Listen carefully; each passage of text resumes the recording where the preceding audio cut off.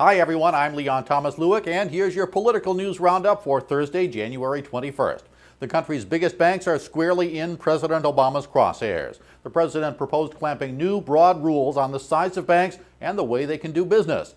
He said the banks took huge reckless risks in pursuit of profits and in so doing nearly brought down the American economy. Under Obama's plan, bank holding companies would be prohibited from owning, investing in, or sponsoring hedge funds or private equity funds. He also wants to place a tighter cap on the amount of liabilities carried by those banks. The changes do require approval from Congress, and Republicans on Capitol Hill, as well as the banking industry, are already promising a fight. The Supreme Court cleared the way today for businesses, unions, and nonprofit groups to spend money on federal elections.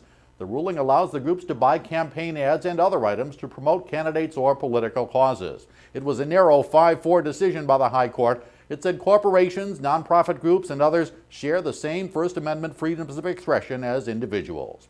Up to now, political expenditures by those groups were strictly regulated. House Speaker Nancy Pelosi cast more doubt today on whether health reform legislation will get passed anytime soon. Pelosi told reporters she just doesn't have the votes in the House to approve the broad reform package already approved in the Senate. Pelosi and others are now preaching a slow down approach to health reform. Tuesday's stunning win by Republican Scott Brown in the Massachusetts Senate election sent a message, they say, that the American public is not satisfied with the current direction of the reform movement.